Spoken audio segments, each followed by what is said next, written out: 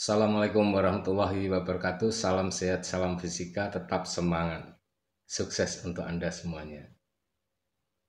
Kita ketemu lagi di pembelajaran fisika. Kali ini kita akan membahas tentang kompetensi teori relativitas Einstein dan yang akan kita bahas adalah penjumlahan kecepatan berdasarkan relativitas Einstein. Untuk lebih jelasnya, ayo pintar belajar fisika, ikuti pembahasannya. Go. Penjumlahan kecepatan berdasarkan relativitas Einstein. Untuk memahami kecepatan relatif berdasarkan konsep relativitas Einstein, perhatikan ilustrasi berikut. Ada sebuah pesawat luar angkasa meninggalkan bumi dengan kecepatan V tertentu. Misalnya pesawat luar angkasa ini kita berikan notasi A bergerak dengan kecepatan V1 0,6 C sambil menembakkan sebuah roketnya dengan kita berikan notasi B dan kecepatannya adalah V2 sama dengan 0,5 C dan bumi kita berikan notasi C.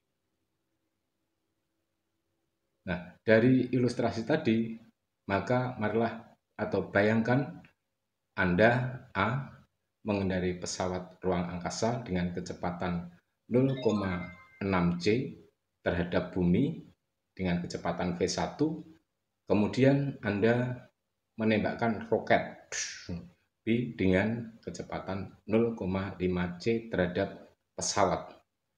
V2 searah dengan arah gerak pesawat Lihat ilustrasi di atas lagi, berapakah kecepatan relatif roket jika diamati orang yang berada di bumi, yaitu di C.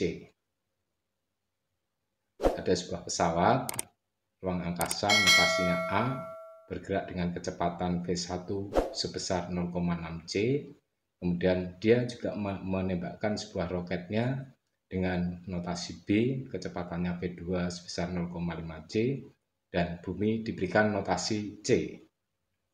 Dalam hal ini, V1 sama dengan VAC. Coba perhatikan gambar, yaitu kecepatan relatif pesawat terhadap bumi. V2-nya adalah VBA. B meninggalkan A dengan kecepatan relatif roket terhadap pesawat. Dan V adalah sama dengan VBC, kecepatan relatif roket terhadap bumi. Berdasarkan teori klasik oleh Newton, diperoleh bahwa V relatifnya jumlah kecepatannya adalah VAC ditambah VBA. Sama dengan V1 ditambah V2 sama dengan 0,6C plus 0,5C sama dengan 1,1C. Nah, menjadi pertanyaan di sini, apakah mungkin kecepatan suatu pesawat tadi atau roket tadi adalah sama dengan 1,1 C kecepatan cahaya? Jawabannya adalah tidak mungkin karena ini adalah menyalahi atau menyimpang dari postulat Einstein yang nomor 2 di mana tidak ada benda yang kecepatannya melebihi dari kecepatan cahaya yaitu melebihi dari 3 kali 10 pangkat 8 meter per sekon. Nah, berdasarkan hal tersebut di atas, Einstein mengoreksi kesalahan ini dengan memberikan persamaan penjumlahan kecepatan relativistiknya untuk kasus gerak satu dimensi sebagai berikut, yaitu V sama dengan V1 plus V2 dibagi 1 plus V1 kali V2 dibagi C pangkat 2. Nah ini adalah perumusan dari Einstein tentang mengoreksi hasil penjumlahan kecepatan dari Newton. V1 adalah kecepatan relatif benda satu terhadap kerangka acuan.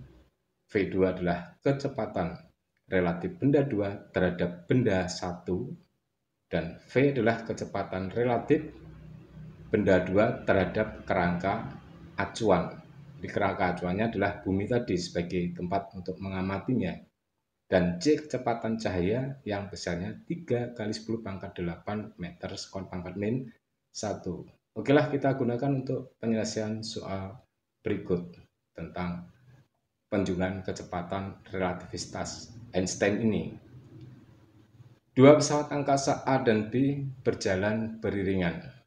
Kecepatan A sama dengan 0,8 C terhadap B yang kecepatannya 0,6 C terhadap pengamat yang diam di bumi. Nah, berarti pengamat di sini adalah sebagai kerangka acuannya. Berapa kecepatan A terhadap pengamat? Nah, ini adalah gambarnya.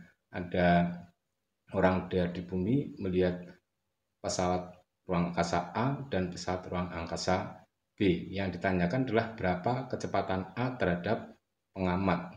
Nah, untuk penyelesaian daripada soal nomor satu ini dengan menggunakan persamaan V sama dengan V1 plus V2 dibagi 1 plus V1 kali V2 dibagi C pangkat 2 tadi, coba untuk diperhatikan di sini tentang masalah sebagai kerangka acuannya ya.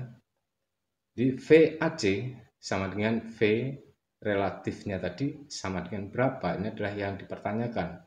Yaitu A melihat uh, A dilihat oleh orang yang ada di B. Dengan menggunakan V sama dengan V1 plus V2 per 1 plus V1 kali V2 per C pangkat 2, maka V sama dengan 0,8C ditambah 0,6C dibagi 1 plus 0,8C kali 0,6C per C pangkat 2 sama dengan 1,4C dibagi 1,48 sama dengan 0,946C. Nah itu adalah kecepatan relatifnya. Soal yang nomor 2. Seorang Pengamat di bumi melihat dua pesawat angkasa A dan B datang dari arah berlawanan, masing-masing kecepatannya adalah 0,8C dan 0,6C. A. Berapakah kecepatan A dan B terhadap pengamat itu? B. Berapa kecepatan pesawat A menurut B. Dan C, berapa kecepatan pesawat B menurut A. Oke, kita selesaikan untuk soal nomor 2 ini.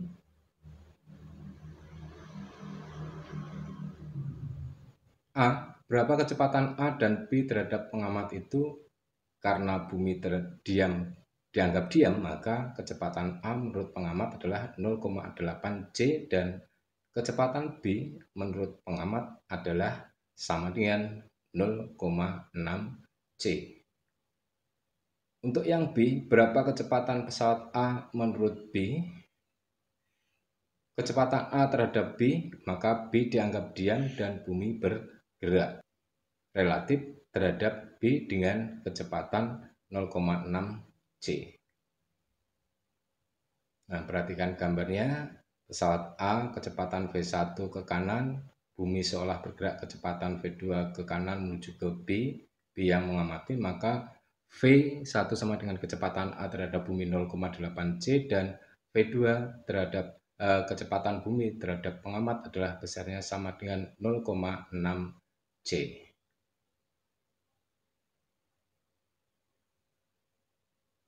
Nah, selanjutnya untuk yang C, kecepatan B terhadap A, maka A dianggap diam.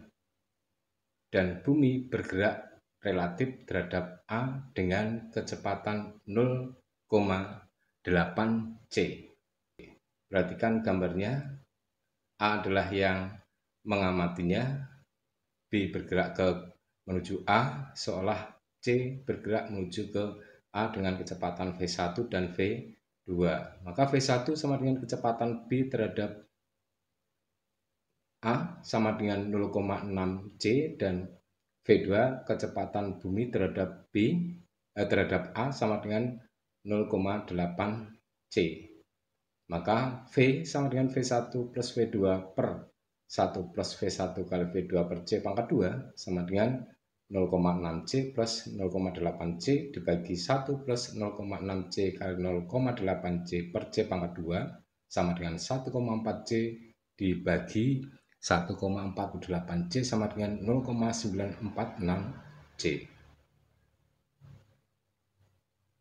Demikian tadi pembahasan tentang penjumlahan kecepatan berdasarkan relativitas Einstein yang ternyata berbeda dengan penjumlahan kecepatan berdasarkan fisika klasik yang didasarkan dari hukum Newton.